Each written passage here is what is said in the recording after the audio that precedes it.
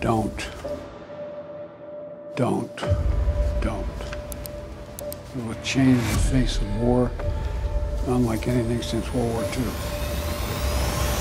رقعة شطرنج يجلس حولها لاعبان أحدهما روسي والآخر أمريكي كلما قام أحدهما بنقلة بادره خصمه بنقلة أقوى وكلاهما يهدف إلى الشيء نفسه الإطاحة بملك الخصم والسيطرة على رقعة الشطرنج كلها. كان الشطرنج أحد أوجه المنافسة بين الولايات المتحدة الأمريكية والاتحاد السوفيتي في حقبة الحرب الباردة عام 1947 لكن سرعان ما امتدت رقعة الشطرنج لتصبح بحجم الكون. وبدلا من البيادق الخشبية تنافست الصواريخ في الوصول إلى أبعد نقطة عرفتها البشرية. وفي لحظة ستظل البشرية شاكرة لها إلى الأبد. قرر الطرفان أن يكون ميدان المنافسة القادمة هو الكون بأكمله. التقط السوفيت والأمريكيون أول الخيط الذي صاغه الألمان.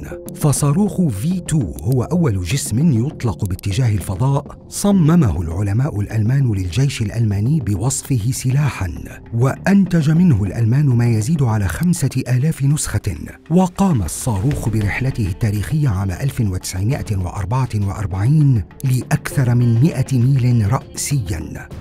هزم الألمان في الحرب العالمية الثانية ووئد مشروعهم الطموح. استحوذ الأمريكيون على بعض صواريخ في 2 وجذبوا نخبة من العلماء الألمان لتطويرها. وبحلول عام 1951 أطلق الأمريكيون قرابة 60 صاروخا نحو الأعلى. بعضها حمل بعثات علمية لدراسة الغلاف الجوي العلوي. هذه التجارب الأولية هي التي أدت إلى ولادة علوم الفضاء التجريبية النشطه على الجهة الأخرى من الكرة الأرضية كان السوفييت قد قلدوا صاروخ في 2 وصنعوا صاروخ R1 وطوروه بعمليات مستمرة حتى حصلوا على R7 الباليستي القادر على حمل رأس نووي ويستطيع إصابة الولايات المتحدة مباشرة.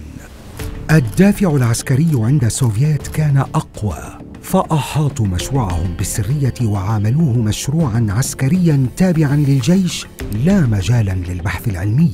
لهذا سرعان ما أطلقوا القمر الصناعي سبوتنيك 1 إلى مدار الأرض في أكتوبر تشرين الأول 1957 وفي تطور متسارع نجح القمر الصناعي السوفيتي سبوتنيك 2 الذي كان أكبر كثيرا من سابقه في نوفمبر تشرين الثاني 1957 ويحمل الكلبة لايكا. هلع الأمريكيون وضاعفوا جهودهم ورأوا أن لا بد من وجود وكالة متخصصة تساعدهم على الوصول إلى الفضاء بصورة لم يفعلها السوفييت. فولدت الإدارة الوطنية للملاحة الجوية والفضاء المعروفة باسم ناسا عام 1958 تعاونت ناسا مع الاستخبارات المركزية الأمريكية ومع الجيش الأمريكي بمختلف قطاعاته.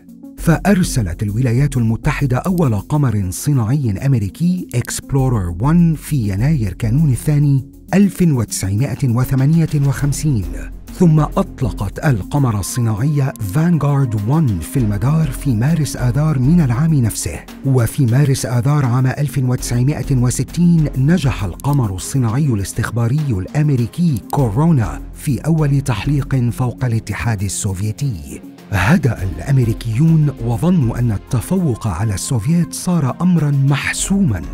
لكن بعد بضعة أيام فجر السوفييت المفاجأة التي أذهبت عقل الأمريكيين.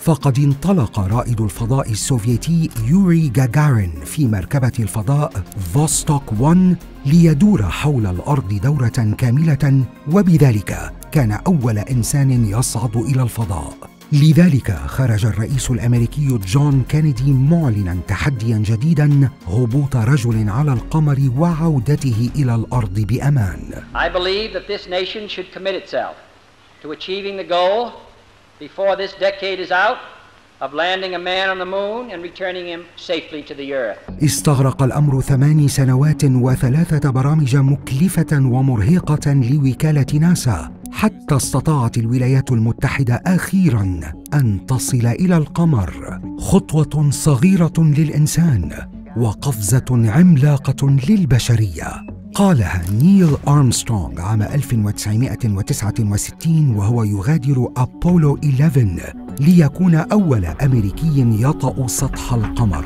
وترسل بعده الولايات المتحدة أكثر من خمس بعثات أخرى إلى القمر لتؤكد هيمنتها وأن الأمر لم يكن محض مصادفة. هذا السباق المحموم لم تكن ضريبته ملايين الدولارات فحسب بل دفع الأفراد الذين آمنوا به ضريبة من أرواحهم أيضا. فقد اجتاحت النيران وحدة قيادة أبولو 1 في أثناء الاختبار وفارق ثلاثة رواد فضاء الحياة. وبعد ثلاثة أشهر مات السوفيتي فلاديمير كوماروف في تحطم مركبة الفضاء سويوز 1 ما أدى إلى إحجام الدولتين عن إرسال رواد فضاء حتى أواخر عام 1968 في تلك اللحظات المأساوية أدركت القوتان أنه ليس من مصلحتهما مواصلة التحدي الفضائي وحدهما وأن التعاون قد يخدم الطرفين بالقدر نفسه. فقرر الجانبان إرساء مشروع فضائي مشترك سمي أبولو سويوز. عام 1975 هذا التعاون الذي كان من ثماره بعد انهيار الاتحاد السوفيتي ولادة محطة الفضاء الدولية التي شارك في تشييدها خمس وكالات فضاء تمثل خمس عشرة دولة. لينتهي بذلك عصر احتكار الفضاء بين القطبين الروسي والأمريكي. فطورت بريطانيا وكندا أقمارا صناعية تبعتهما فرنسا وباقي الدول الأوروبية لتكون محطة الفضاء الدولية بمنزلة كوكب لامع يمتص ضوء الشمس ليحوله إلى آمال تتطلع نحوها البشرية كلها. كان بناء المحطة منذ البداية تحديا هندسيا عظيما. نقلت أجزاؤها في أكثر من مكوك روسي ثم جمعت تلك الأجزاء في مدار الأرض كما جمعت الأجزاء المعدنية. تضافرت البشرية لتكون محطة الفضاء رمزا للتعاون الدولي.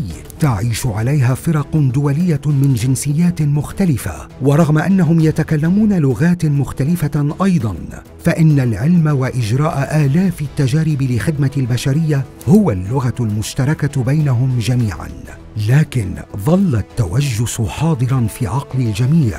لذا أنشأت الولايات المتحدة قوة فضائية Space Force هدفها حماية الأصول الفضائية الأمريكية وضمان حرية العمليات في الفضاء وسلامتها ورصد كل الأجسام الفضائية وصد أي هجوم مادي أو سيبراني على الجهات الفضائية الأمريكية. لكن التنافس في الفضاء ظل حكرا على الحكومات والدول ثم تقلص ليكون أشبه باحتكار لوكالة الفضاء الأمريكية ناسا. وباتت هي من توجه الدول الأقل قوة وتدير مشروعاتها الفضائية.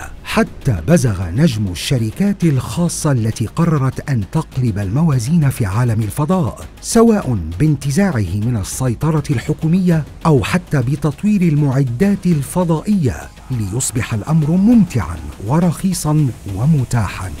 شركتا سبيس إكس وبلو اوريجين كانتا من الرواد في تغيير وجه صناعة الفضاء. إذ طورتا صواريخ قابلة لإعادة الاستخدام مثل الصاروخ فالكن 9 ما قلل تكاليف الإنتاج بنسبة 70% وأصبح في مقدور الدول الأقل ثراء الحلم بالصعود إلى الفضاء. مع انخفاض التكلفة بدأت فكرة السياحة الفضائية في الظهور، وسيرت شركة سبيس إكس رحلة فضائية ممولة من الأفراد الذين رغبوا في رؤية الفضاء، وتخطط بلو أوريجين أيضا لبناء عدة محطات فضائية تكون منطلقا لاستكشاف الشمس. رغم محاولة جعل صناعة الفضاء أكثر مرحا ومتعة للناس عامة، فإن الفضاء في الوقت الحالي بالأقمار الصناعية التي تملأه من أكبر التهديدات التي تواجهها البشرية. فقد أصبح التجسس والتصوير عالي الدقة لأي نقطة في كوكب الأرض امرا يسيرا ويمكن للأقمار الصناعية اعتراض الإشارات اللاسلكية والتنصت وتوجيه الصواريخ وتشويش işare arttı. ما يدفع الدول إلى تطوير الأقمار الصناعية وفي الوقت نفسه تطوير التقنيات المضادة لها. قد يبدو الأمر عادلا فالتنافس مفتوح للجميع وصار الفضاء متاحا لمن يستطيع